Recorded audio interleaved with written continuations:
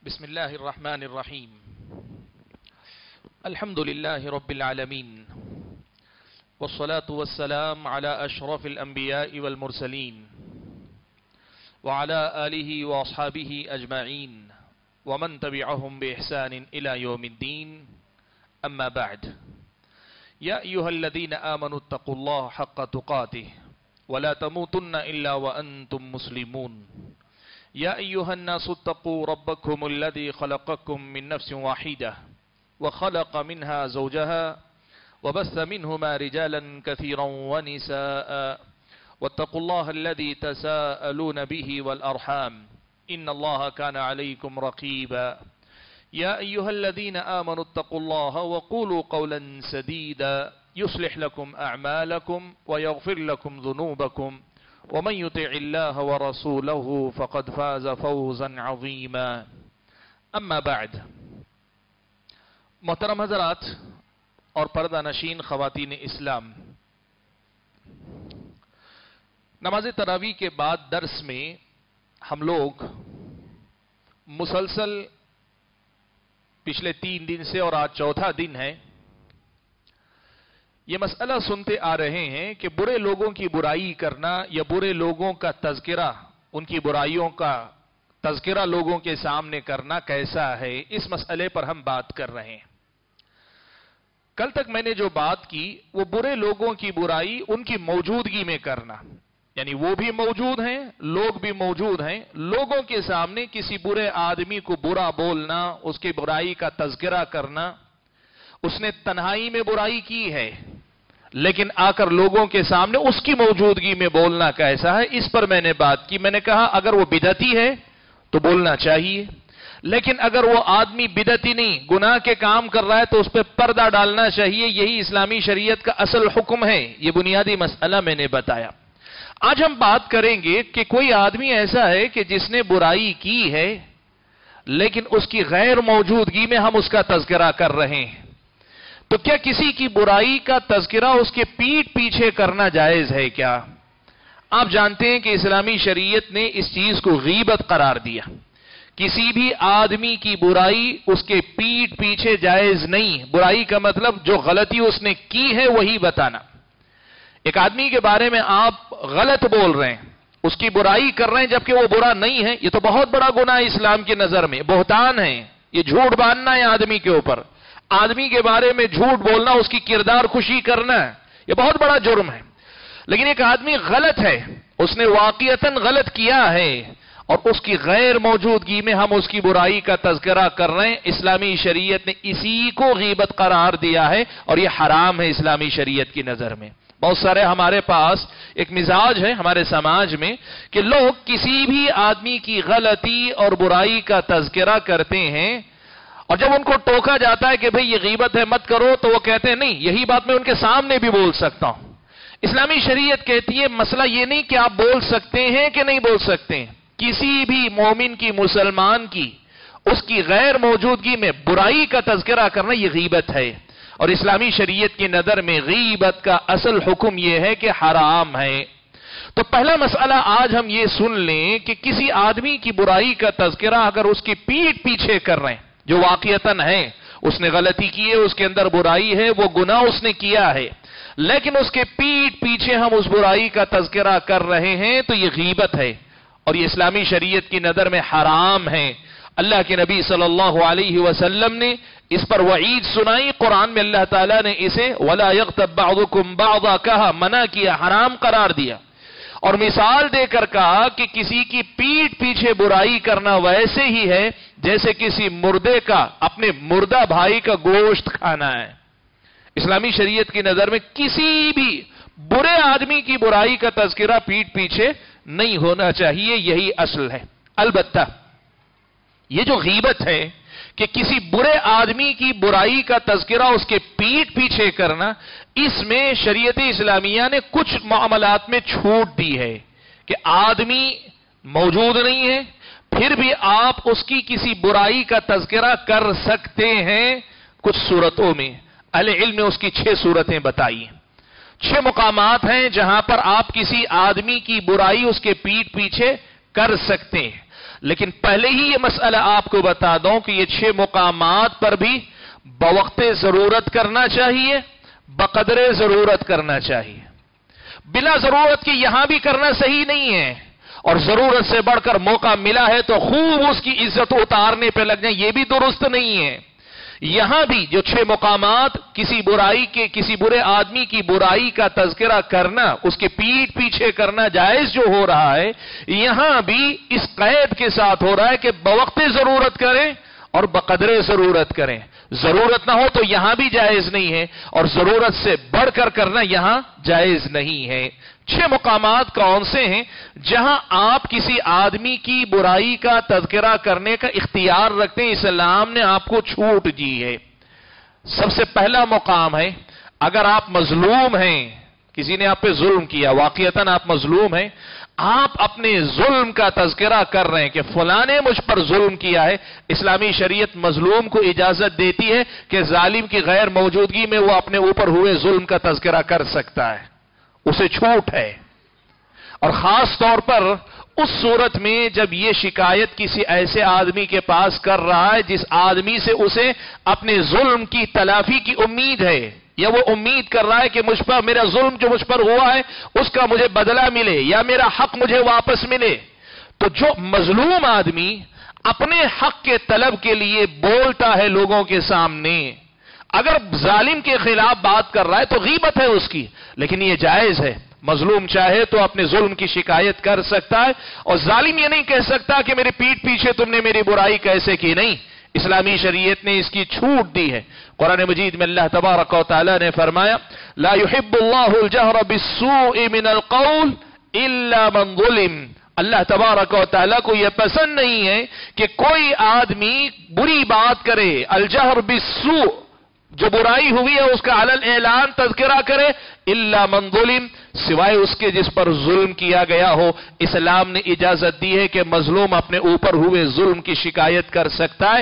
اس کو ہم کہتے ہیں یہ غیبت ہے، لیکن جائز غیبت ہے یہ۔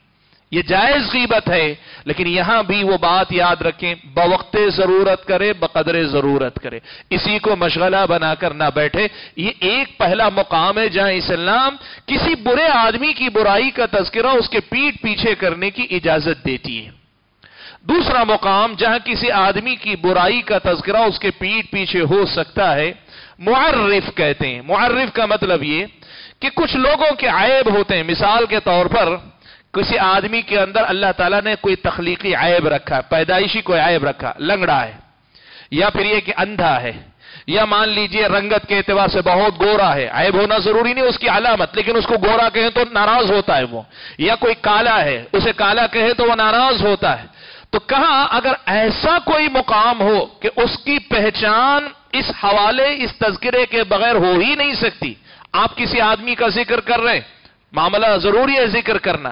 جب آپ تذکرہ کر رہے ہیں، سامنے والے نہیں پہچان پا رہے ہیں۔ ایسے موقع پر آپ اس عیب کا یا اس کی اس کمزوری کا حوالہ دے سکتے ہیں۔ مان لیجیے، کسی آدمی نے کوئی غلطی کی تھی، اس حوالے سے لوگوں میں معروف ہے، لوگوں میں پہچانا جاتا ہے۔ آپ کو اجازت نہیں کہ آپ اس کو آڑے ٹیڑے نام سے بلائیں، اس کی کسی خرابی کے حوالے سے، اس کے اندر پائے جانے والے کسی عیب کے حوالے سے ذکر کریں۔ لیکن اگر ایسا ہے کہ اس کی پہچان ہی اسی سے ہوتی ہے تو ایسی صورت میں یہاں بھی بوقت ضرورت اور بقدر ضرورت آپ جو ہے اس کے عیب کا تذکرہ کر سکتے ہیں۔ آپ اگر دیکھیں گے فن حدیث میں جو حدیث کے راوی ہیں، ان میں کئی راوی ایسے تھے کہ جن کو نام سے شہرت کم ملی، ان کی اپنی اسی قسم کے کسی عیب کی وجہ سے شہرت ملی۔ جیسے آمش ایک نام ہے آمش کا معنی ہوتا ہے، آنکھوں میں اگر ٹیڑھا پن ہو، تھوڑی سی آنکھ سیدھی نہ کانا جسے ہم کہتے ہیں، آنکھ کانی ہو، جو ٹھیک سے دیکھ نہیں پاتا ہو، اس کو کہتے ہیں۔ لیکن آمش ہی ان کا نام ہی نام ان کا سلیمان ابن مہران ہے۔ نہ سلیمان سے کوئی جانتا ہے، نہ ابن مہران کے نام سے کوئی جانتا ان کی شہرت جو ہے وہ آمش کے نام ہی سے ہوئی۔ تو کوئی ایسا آدمی، جیسے آپ بولیں گورا ہمارے سماج میں، یا کسی آدمی کو آپ کہتے ہیں، کالا کہتے ہیں۔ حالانکہ اسے برا لگتا ہے اور آپ کو بھی اجازت نہیں کہ کسی کی عیب یا کمزوری یا کسی ایسی چیز جس کو وہ ناپسند کرتا اس حوالے سے ذکر کریں۔ لیکن کبھی اس کا تعارف، اس کی پہچان متعین نہیں ہو رہی ہے۔ اسی نام یا اسی حوالے سے ہو سکتی ہے۔ اس وقت بقت ضرورت، بقدر ضرورت آپ اس کا تذکرہ کر سکتے ہیں۔ تیسرا مقام جہاں پر آپ کسی آدمی کی خرابی یا برائی کا تذکرہ اس کے پیٹ پیچھے کر سکتے ہیں وہ مقام ہے جب آپ لوگوں کو اس کے شر سے بچانا چاہتے ہیں۔ یہ دو مقام ہوتے ہیں۔ ایک مقام پچھلے دروس میں آ چکا ہے، وہ ہے بداتی ایک آدمی بداتی ہے، وہ یہاں موجود نہیں ہے، لیکن ہم اس کی بدات کا تذکرہ کریں گے، بتائیں گے فلاں جو آدمی ہے نا، وہ بداتی ہے۔ فلاں جو آدمی ہے، اس کے اندر یہ غلطی ہے، اس سے پرہیز کرو۔ آج آپ ایک مسئلہ یہ بھی میں آپ کو بتا دوں۔ بہت سارے لوگ یہ کہتے ہیں کہ بہت سارے ایسے علماء گزر چکے انتقال کر گئے۔ اب ان کی اگر غلطیاں، غلطیوں سے مراد ہو جو دین کے معاملے میں غلط ہیں، ان کی ذاتی زندگی کی نہیں۔ ان کی ذاتی زندگی کی کمزوریوں کو نہیں چھیڑنا چاہیے۔ کبھی بھی کسی بھی وفات شدہ انسان کی زندگی کے گناہ، برائیوں کا تذکرہ نہ کریں۔ لیکن اگر وہ بداتے ہیں، دین کے معاملے میں کوئی غلط رائے، کوئی غلط مسئلہ بیان کر کے چلے گئے آج اگر آپ وہ مسئلہ بیان کرتے ہوئے ان کا ذکر کرتے ہیں، وہ تو چلے گئے دنیا چھوڑ کر، لیکن ان کی اس غلطی کا تذکرہ کر کے آپ لوگوں کو روک رہے ہیں۔ بہت سارے لوگ کہتے ہیں کہ اسلام نے وفات شدہ لوگوں کی برائیوں کا تذکرہ کرنے سے منع کیا ہے۔ سچ ہے۔ لیکن ایسی غلطی جس کا تعلق ان کی عملی زندگی سے نہیں، ان کی علمی زندگی، دین کا جو مسئلہ انہوں نے بیان کیا، اس میں غلطی ہوئی، یا کوئی غلط فکر انہوں نے پھیلائی، کوئی غلط مسئلہ لوگوں کو بتایا ہوا، یا کسی بدعت کو رواج دینے والے وہ رہے ہیں ان کے دنیا سے جانے کے بعد بھی ان کی اس خرابی کے عیب کا تذکرہ کرنا اسلامی شریعت کی نظر میں جائز ہے۔ آپ بالکل ان کے پیٹ پیچھے بتا سکتے ہیں کہ یہ جو خرابی ہے، یہ بدعت ہے، یہ ان کے اندر پائی جاتی ہے، یہ پیٹ پیچھے بھی آپ بتا سکتے ہیں۔ جیسے ہم نے پہلے کہا، ان کے منہ پر بھی، ان کے سامنے بھی مجلس میں آپ بتا سکتے ہیں، ان کے پیٹ پیچھے بھی بتا سکتے ہیں۔ البتہ دوسرا جو مقام ہے، جہاں لوگوں کو آپ روکنا چاہتے ہیں، یہ کون سا مقام ہے؟ کسی آدمی کے اندر ایسی کوئی خرابی ہے جسے لوگ جانتے نہیں، تو آپ کو حکم ہے کہ آپ اسے چھپائیں، جیسے پچھلے دروس میں میں نے بتایا۔ لیکن لا علمی کی وجہ سے کسی دوسرے کے اس بیماری میں مبتلا ہو جانے یا اس گناہ میں ساتھ میں رہنے کی وجہ سے مبتلا ہو جانے کا ڈر ہو یا لوگوں کو ڈر ہو کہ لوگ وہ لوگوں کو دھوکہ دے دے گا، تو لوگوں کو اس کے شر سے بچانے کی اگر ضرورت پیش آتی ہے تو آپ بتا سکتے ہیں۔ اگر لوگوں کو اس کے شر سے بچانے کی ضرورت ہو تو آپ بتا سکتے ہیں۔ کیسے؟ آپ نے سنا پیارے نبی صلی اللہ علیہ وسلم ایک مرتبہ اپنے کمرے میں بیٹھے تھے، اپنے حجرے میں موجود تھے کہ ایک صاحب مدینے والے، مدینے کے ایک صاحب آئے اور آ کر دروازہ کھٹ کھٹ آیا۔ اللہ کے نبی نے پوچھا، کون؟ انہوں نے کہا، فلاں. تو اللہ کے نبی نے کہا بیس اخ العشیرہ. بھئی سماج کا بڑا ہی غلط آدمی، بڑا برا آدمی ہے۔ پھر اللہ کے نبی صلی اللہ علیہ وسلم باہر نکلے، وہ سامنے آئے تو اللہ کے نبی صلی اللہ علیہ وسلم نے ان سے اچھے انداز سے بات کی جو ان کی ضرورت تھی بھیج دیا۔ امہت المومنین میں سے جو موجود تھی دونوں منظر دیکھی گھر کے اندر آپ نے کہا، سماج کا بڑا برا آدمی ہے۔ اور باہر جا کر آپ نے خوش دلی سے بات کی تو کہا، اللہ کے نبی، یہ کیا ہے؟ دو قسم کا رویہ آپ کی طرف سے۔ اللہ کے نبی نے کہا کہ تم نے مجھے کب بد اخلاق پایا؟ یعنی مطلب یہ ہوا اہل علم نے لکھا ہے، باہر جا کر اللہ کے نبی نے جو بات کی، وہ اخلاق کا تقاضا ہے کہ آدمی چاہے کیسا ہو، ہمیں اپنے اخلاق نہیں بھولنے چاہیے، ہمیں اپنے اخلاق سے نیچے نہیں اترنا چاہیے۔ اور گھر کے اندر جو بات کہی، اللہ کے نبی چاہتے تھے کہ لوگ ان کے شر سے بچیں، ان کے اندر پائے جانے والے شر سے متنبع رہیں۔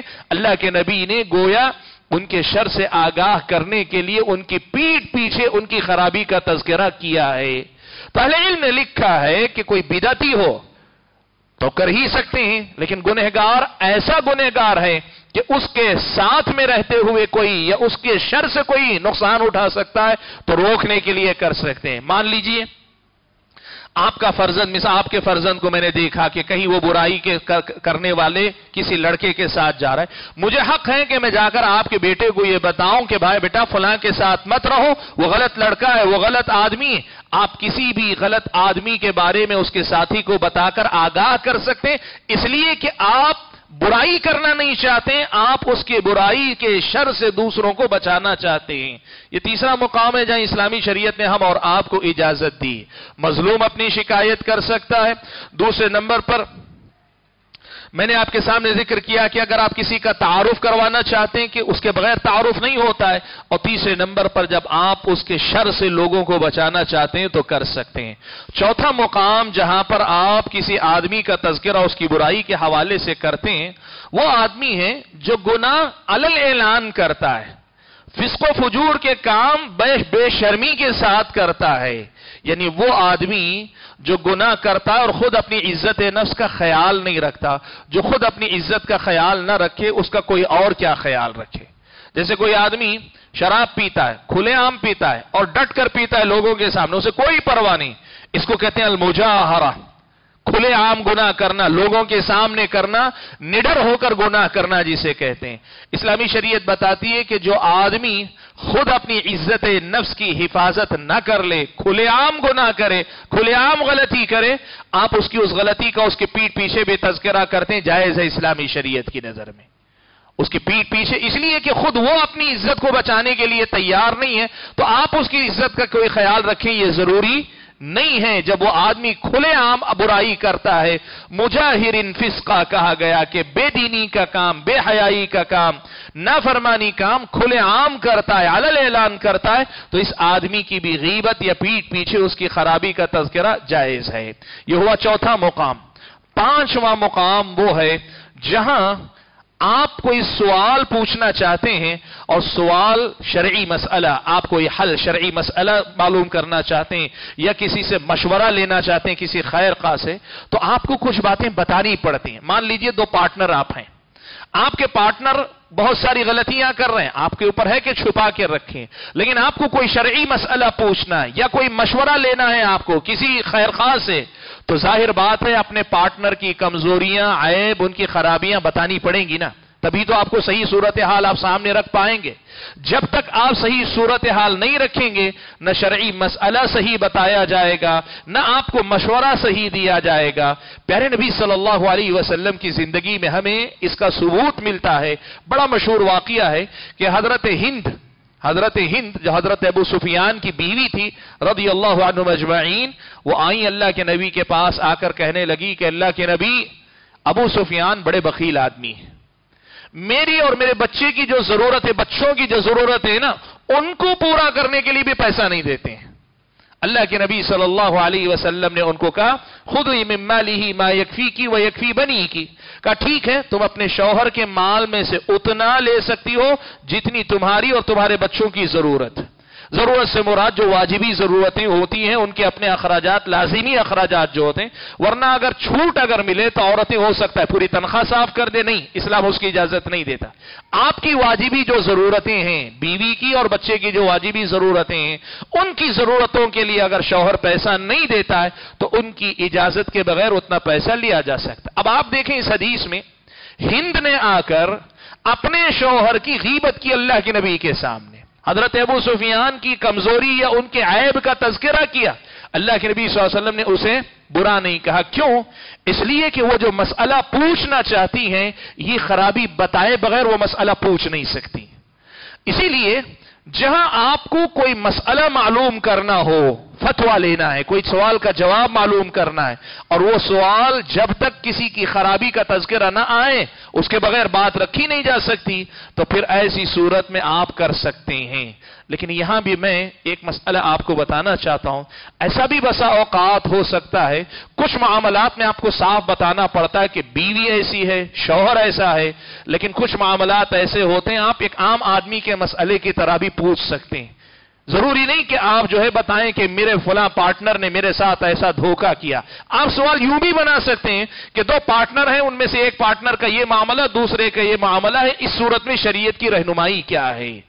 تو اسلامی شریعت آپ کو بتاتی ہے کہ اگر آپ کو اپنے مسئلے کا، سوال کا جواب چاہیے اور اس جواب کے حاصل کرنے کے لیے، صورت حال کو سمجھانے کے لیے یا مشورہ لینے کے لیے کسی کی خرابی کا تذکرہ ضروری ہو جاتا ہے، ایسی صورت میں اس کی خرابی کا تذکرہ بھی اسلام کی نظر میں جائز یہ پانچواں مقام ہے۔ اور چھٹا اور چھٹا اور آخری مقام جو اہل علم نے بیان کیا، وہ مقام کون سا ہے؟ کہا یہ وہ مقام ہے کہ جہاں آدمی کوئی برائی دیکھتا ہے، خود برائی کو اسے روک نہیں سکتا۔ اختیار نہیں ہے، تو وہ کیا کرتا ہے؟ ایسے کسی آدمی تک وہ بات پہنچاتا ہے کہ جس کے ذریعے وہ اس برائی پہ روک لگا سکے۔ مان لیجیے مثال کے طور پر میں نے آپ کے بیٹے کو کچھ غلط کرتے دیکھا، آپ نے میرے بیٹے کو کچھ غلط کرتے دیکھا۔ آپ کے بیٹے پہ میرا اختیار نہیں، میرے بیٹے پہ آپ کا اختیار نہیں۔ میں آپ تک آتا ہوں یا آپ مجھ تک آ کر بتاتے میں نے آپ کے بیٹے کو فلاں کام کرتے ہوئے دیکھا یا فلاں غلط مقام پہ دیکھا، فلاں غلط چیز کرتے ہوئے دیکھا۔ آپ نے غیبت کی، بیٹے کی غیبت کی۔ لیکن آپ کا مقصد کیا ہے؟ آپ چاہتے ہیں کہ یہ منکر زائل ہو یا مثال کے طور پر میں نے پرسوں بھی مثال دی، مسجد میں یا جماعت میں بہت ساری غلطیاں دیکھتے ہیں، بستی محلے میں دیکھتے ہیں۔ آپ میں سے کوئی آ کر مسجد کے خطیب صاحب کو درس دینے والے حضرت کو کوئی بتاتا ہے، کہتا ہے کہ یہ ایک مسئلہ میں نے دیکھا ہے کہ کچھ لوگ یہ غلطی کر رہے ہیں۔ مقصد کیا ہے؟ وہ چاہتے یہ ہے کہ اس غلطی پر تنبیہ ہو، اس غلطی کی اصلاح ہو۔ یا ایسے ہی آپ کیا کرتے ہیں؟ بسا اوقات اسلامی حکومت میں ہوتا یہ ہے کہ کوئی آدمی بہت غلط کر رہا ہے، حکومت کی نظروں سے چھپا ہوا ہے، کوئی آدمی دیکھ رہا ہے کہ اس آدمی سے مسلمانوں کا بڑا نقصان ہو رہا ہے، جا کر اس کی شکایت کرتا ہے کہ یہ آدمی غلط کر رہا ہے، جس سے پورے سماج کا نقصان ہو رہا ہے، حکمران کے پاس جا کر بات پہنچاتا ہے۔ تو ہمارے سماج میں کہتے ہیں نا، چاڑی لگانا، چولی کھانا حرام۔ جی ہاں دو آدمیوں کو آپس میں لڑانے کے لیے چولی کھانا حرام ہے، لیکن آپ جا رہے ہیں جا کر کسی آدمی کے سامنے اس لیے بتا رہے ہیں کہ وہ آدمی اس برائی کو روک سکتا ہے اور آپ اس میں مدد لینا چاہ رہے ہیں۔ اسلامی شریعت کی نظر میں یہ بالکل جائز ہے۔ یہ ہمیں پیرے نبی صلی اللہ علیہ وسلم کی زندگی میں متعدد واقعات میں ملتا ہے۔ آپ کو پتا ہے سورہ منافقون میں آپ پڑھیں گے۔ عبداللہ ابن ابئی نے اپنی مجلس میں یہ کہا، لَيُخْرِجَنَّ الْأَعَزُّ مِنَ الْأَدَلِ کہا کہ میں جو ہے مدینہ جب پہنچیں گے تو عزت والا ذلت والے کو نکال بھیج باہر کرے گا، نعوذ باللہ۔ خود کو عزت والا کہہ رہا تھا۔ نبی علیہ السلاۃ والسلام کو نعوذ باللہ وہ لفظ کہہ رہا تھا۔ یہ بات صحابی نے سن لی تو صحابی سیدھے اللہ کے نبی کے پاس گئے۔ جا کر اللہ کے نبی کو بتایا کہ اللہ کے نبی اس منافق نے آپ کے بارے میں ایسے کہا ہے۔ یہ بظاہر آپ دیکھیں، یہ چاڑی لگانا جسے کہتے ہیں، چولی کھانا۔ یہ جائز نہیں اسلام کی نظر میں جس سے لوگوں کے معاملات بگڑ جائے لیکن اس آدمی کے شر سے بچانے کے لیے، اس منکر کے خاتمے کے لیے مدد لینے کے لیے آپ جا رہے ہیں، اسلامی شریعت کی نظر میں یہ جائز معاملہ ہے۔ تو یہ چھٹا مقام ہے۔ العلم نے ذکر کیا کہ یہ چھ بڑے معاملات ہیں، یہ چھ بڑی حالتیں ہیں جن میں آپ کسی آدمی کی برائی کا تذکرہ اس کے پیٹ پیچھے کر سکتے ہیں۔ اس کے ساتھ اگر انہی کی تفصیلات میں اگر اور کوئی صورت داخل ہو جاتی ہے چھ کے علاوہ بھی، نمبر چھ آپ کو بتائیں، چھ ہی نہیں۔ ان چھ میں کوئی اور مسئلہ بھی داخل ہو جائے۔ ان چھ میں کوئی اور مسئلہ اسی کی تفصیل میں داخل ہو جائے، وہاں بھی جائز ہو سکتا ہے۔ اگر آپ ان پہ غور کریں گے تو ایک آپ کو ضابطہ قاعدہ نظر آتا ہے۔ وہ کیا ہے؟ معلوم کیا؟ کسی آدمی کی خرابی مجلس کو آباد کرنے رنگا رنگ کرنے، مزے لینے کے لیے کرنا یہ جائز نہیں کسی صورت میں اسلام میں۔ کسی آدمی کی خرابی، اس کو بے عزت کرنے، بدنام کرنے، اسے نیچا دکھانے زلیل رسوا کرنے جائز نہیں۔ جائز ہونے کا مقام کہاں دکھایا گیا؟ جہاں ان کے مقابلے میں بڑی کوئی مسلحت رہی، لوگوں کی مسلحت رہی، شریعت کی کوئی مسلحت رہی، وہیں اس کی اجازت دی گئی ہے۔ اس لیے آپ کو جب کبھی کسی کی برائی کا تذکرہ کرنے کی نوبت آ جاتی ہے تو آپ دیکھیں کہ آپ کی اس برائی کرنے سے حاصل کیا ہو رہا ہے۔ تھوڑی دیر مجلس میں گرمی آ رہی، لوگ خوش ہو رہے ہیں یا لوگ کہہ رہے ہیں بڑی معلومات ہیں آپ کو بستی والوں کے بارے میں، خاندان والوں کے بارے میں، دوستوں کے بارے میں، گلی محلے کے بارے میں۔ نہیں، یہ سب چیزیں عیب ہیں، یہ کمزوری ہے۔ لیکن اگر آپ ایسا کوئی معاملہ کر رہے ہیں جس سے کسی کے بگاڑ کا سدھار ہو رہا ہے تو پھر اسلامی شریعت کے ان ضابطوں کے تحت آپ داخل ہو سکتے ہیں۔ تو آج کے درس میں ہم لوگ اپنے آپ کو یہیں روک لیتے ہیں، جو سلسلہ ہم نے سمجھیے تین درس پہلے، آج چوتھا درس ہے کہ برے لوگوں کی برائی کا تذکرہ کیا جا سکتا ہے کہ نہیں؟ تو ہم نے اس سلسلے میں آپ کے سامنے الگ الگ تفصیلات رکھی اس کا تذکرہ آج یہاں آ کر مکمل ہوتا ہے۔